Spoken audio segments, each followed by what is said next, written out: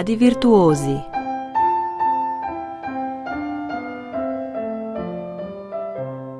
Iz majhnega raste veliko.